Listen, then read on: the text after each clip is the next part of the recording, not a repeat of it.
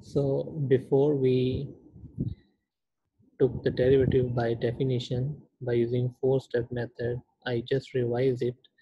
For example, if we have a function f of x equals to x square, then step one was we write it in f of x plus h form. Wherever we have x, we replace it with x plus h. Then step two was we take their difference f of x plus h minus f of x equals to it becomes f of x uh, x plus h square minus x square. Then step three was we take its division we divide it by h both sides. It becomes f plus h square minus x square then we apply in step 4 we apply a limit.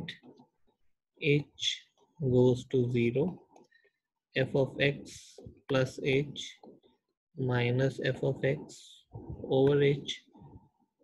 Limit h goes to 0 x plus h square minus x square over h so now we solve this limit problem, it becomes x square plus 2xh plus h square minus x square over h.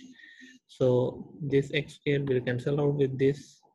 We will left with limit h goes to 0 2xh plus h square over h. Now furthermore, it will become, if I take out h 2x plus h over h. This h will cancel out with this.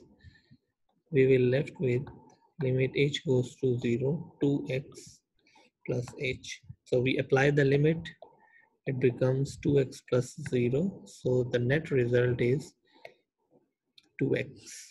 So the derivative is limit uh, limit h goes to 0 f of x plus h. F of x over h equals to 2x which is the derivative of a function. So now you have seen that it is a long process like f of x plus h minus f of x over h. Limit h goes to 0 we call it that it is the derivative and finally we got the derivative 2x but there is a short way as well which is called power rule which is called power rule. What we do in the power rule for example if you have a function f of x equals to x raised to power n. This n is a constant. This n is a constant like in the previous example uh, what I did x square n was 2 that is our n. Here I just take it in general form and to be more precise I write it as m times x raised to power n and again if I compare this general example with this particular example m is 1 and n is 2 and x is x. So if I take its derivative, we denote derivative by f dash. What power rule says, we multiply this power with the coefficient of base. So it becomes m times n x raised to power and we subtract 1 from the power and that is the derivative. So m times n x subtract 1 from the power. So that is the derivative. If you see this particular example, by definition, by four-step method, it is a long process. But if you apply power rule, multiply power with the coefficient of base, 2 times 1, x, subtract 1 from the power. So the answer is 2xc in two steps we can get the derivative. So this is the general form. For example, f of x is m times x raised to power n, right? So here you can see that now we call this is base. Here base is x. We call this is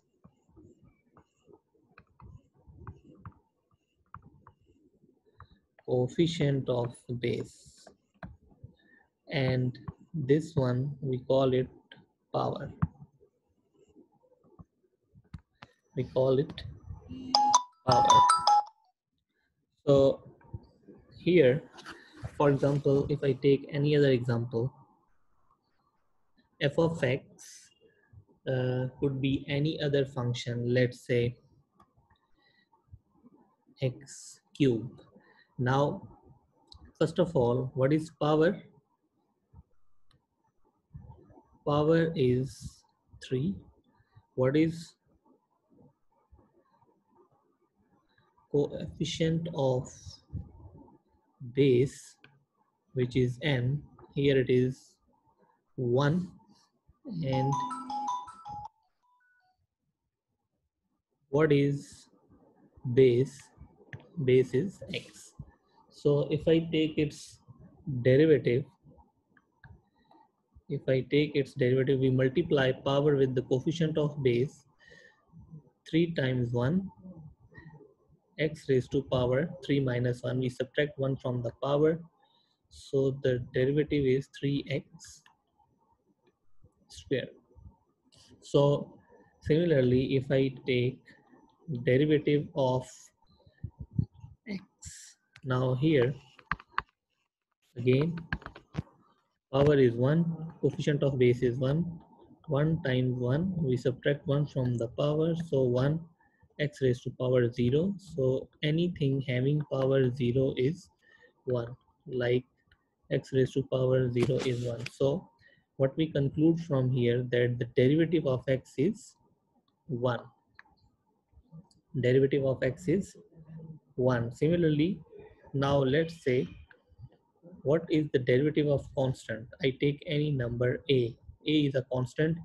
So uh, just for your understanding, as I said, anything having power 0 is 1. So I can write here a times x raised to power 0. So if I take its derivative a times 0 and 0 minus 1. Now here it is 0. If you multiply anything with 0, it becomes 0. So derivative of a constant is zero, right? Uh, let's solve some more examples like f of x is x square 3 by 2 x raised to power minus 2 plus 4x plus 7. Now, if I take its derivative f dash of x, now if uh, we denote derivative by d by dx. I will explain it later in upcoming lectures. We take derivative of this function. We take derivative of this function. It is a linear function, so it will apply on linear proper linear operator. So it will go on one by one. So d by dx of 7. We are taking derivative of each function individually so here you can see if I take derivative of this function, power will multiply with the coefficient of base and we will subtract 1 from the power. Likewise, here power will multiply with the coefficient of base, coefficient of base of 3 raised to 3 by 2. 2 will come first and we will subtract 1 from the power.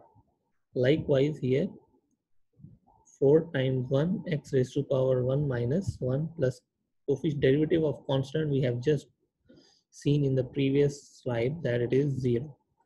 So 2x, this 2 will cancel out, we will get minus 3x raised to power minus 3 plus 4. So that is the derivative of this function.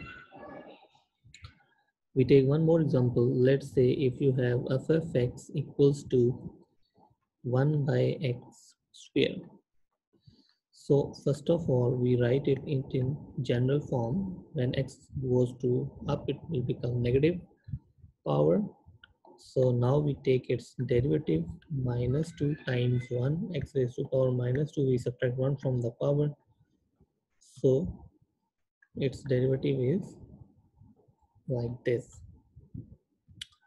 So similarly, for example, uh, if you have any other function, let's say f of x equals to x square plus 4x plus 1 raised to power 2.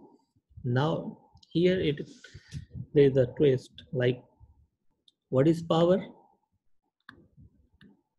Power is 2 and the whole thing which contains this power is your base and this whole thing contains this power too so the base is x square 4x plus 1 that is our base. And coefficient of base i am writing it cb is 1 so first of all, we take the derivative of power, which means that by applying power rule, we multiply power with the coefficient of base and we subtract 1 from the power. After that, this is the new thing, times derivative of base.